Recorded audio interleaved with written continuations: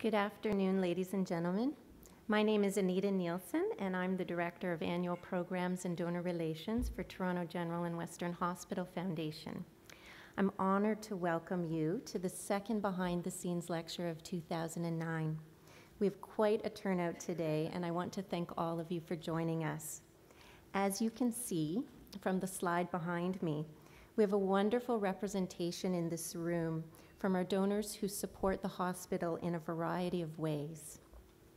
We have members of the R. Fraser Elliott Society, a society that was named in honor of one of our most committed benefactors and the inaugural chair of our foundation, R. Fraser Elliott.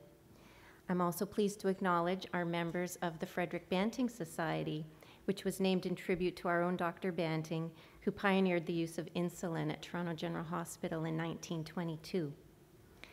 I see many of our Circle of Life monthly donors in attendance, and their gifts provide a vital revenue stream for our hospitals year round.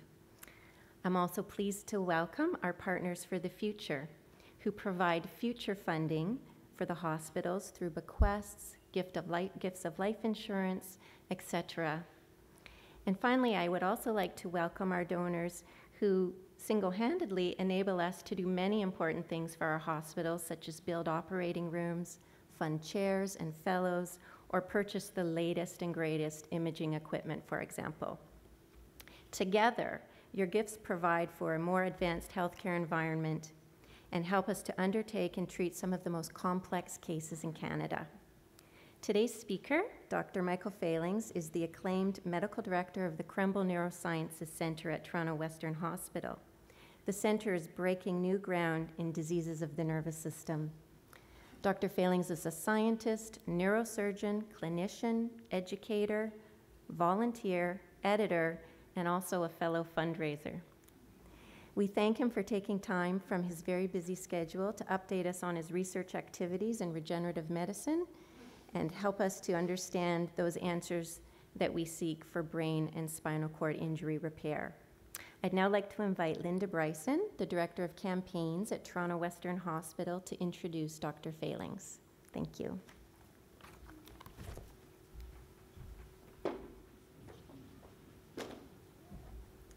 Thanks, Anita, and thank you all for coming to this really exciting uh, lecture at the behind the scenes.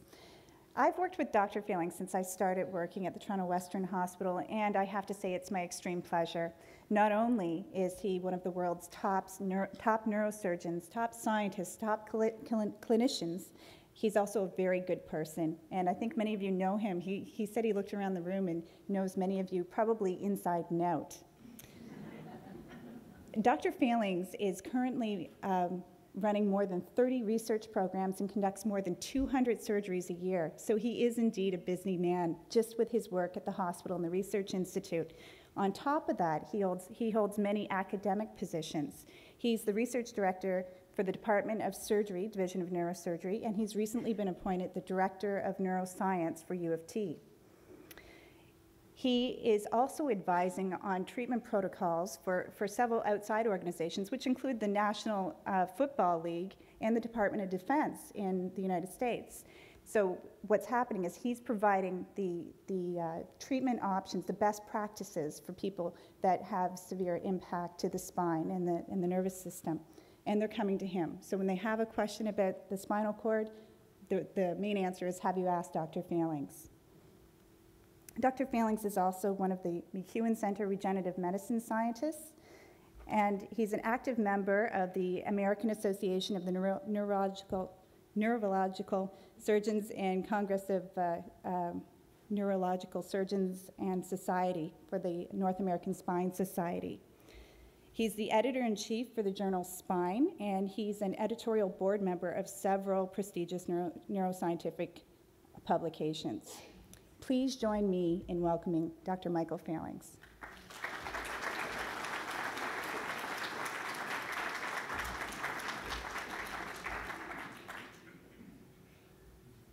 I always enjoy hearing that. I, I, I wish my mother were here. Um, um, I- I'm very honored uh, to see so many uh, uh, friends and benefactors uh, in, in the room, and it's uh, indeed humbling to be here before all of you, and it's particularly humbling to see to, to hear those uh, to hear those uh, words, which are far too kind. But I, I'm going to try to uh, live up a little bit to those words uh, this afternoon and share with you some of the excitement related to uh, regeneration and repair of the injured nervous system. So just give me a second to change my slides.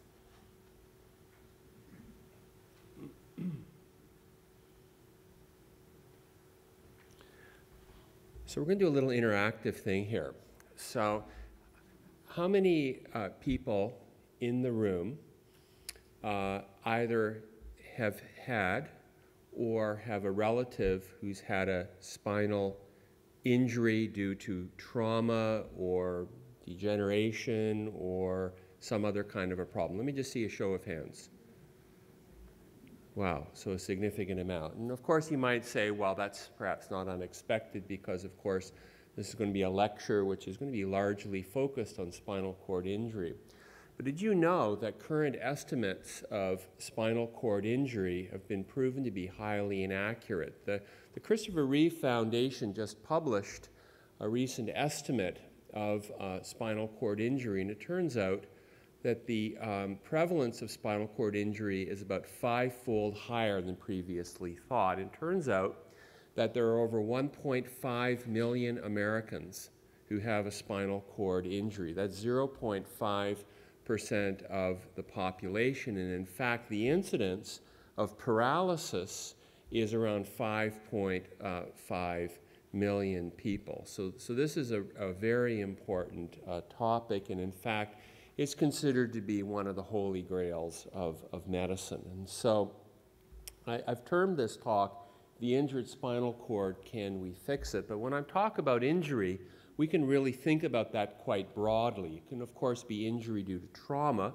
which is what I'm initially focusing on, but this could be due to uh, injury due to a stroke, it could be injury due to multiple sclerosis or other diseases. And in fact, we don't have to limit this to the spinal cord, which is really an extension of the brain, but we can think about uh, problems in, in, in, the brain uh, as well. If you uh, happen to go to the, to the um, British Museum, you may come across uh, this remarkable wall carving, which is from the uh, Mesopotamian era, 2600 BC. This depicts a lioness that's been wounded through the back. You'll see that there are two uh, arrows uh, through the spine, and, and, and uh, this animal has a, a, flaccid paraplegia.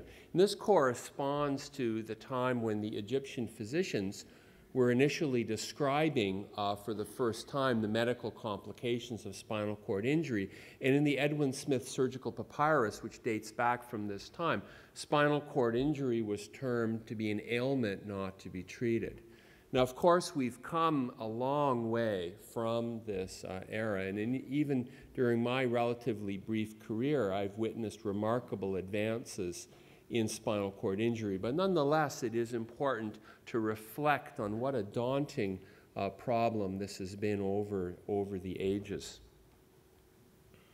Before I begin, I wanted to uh, acknowledge the many members of, of, the, uh, of the team, uh, the funders. I see that Kent Bassett Spiers is in the audience, and, and certainly the Ontario Neurotrauma Foundation has been integral to our work, as have been many, many other agencies. And, and in addition, uh, the donors, and many of whom are, are here in the audience today, are, are, are absolutely critical to, uh, to this. And uh, if we think about the idea that it takes a village to raise a child, it takes a society to solve a problem of spinal cord injury or brain injury. And really, we all need to to work together. But what I hope I'm going to be able to provide you is maybe not all of the answers, because I sure don't have all of the answers, but perhaps a roadmap. And we now have that roadmap in terms of how to get there. And it is not going to be a question of when we can get there. We will get there.